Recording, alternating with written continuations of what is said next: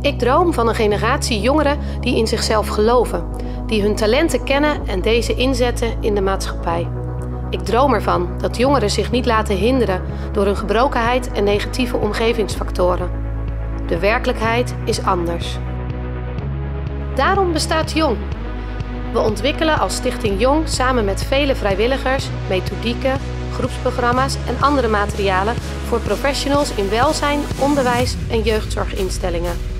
We helpen jou, zodat jij er kan zijn voor de volgende generatie. Samen werken we aan het empoweren van jongeren. Maar ook jij, als ouder en opvoeder, bent van invloed. Werk binnen je gezin aan verbondenheid, aan goede communicatie door middel van de nodige diepgang en fun. Ik.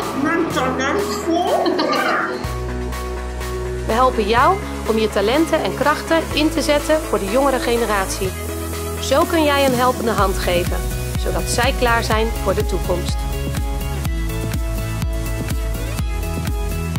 Jong kijkt samen met jongeren naar hun mogelijkheden en kansen, waardoor hun toekomstperspectief positief verandert. Het is belangrijk dat een jongere op een gezonde en zelfstandige manier prioriteiten leert te stellen en met geld leert om te gaan.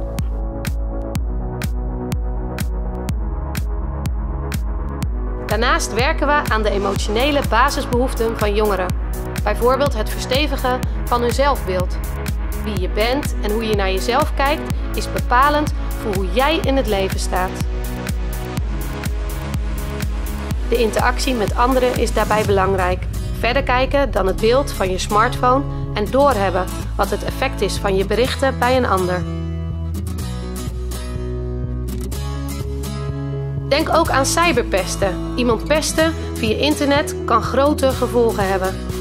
Door te werken aan het zelfvertrouwen en het besef dat iedereen anders is, kan iemand opbloeien tot een superheld.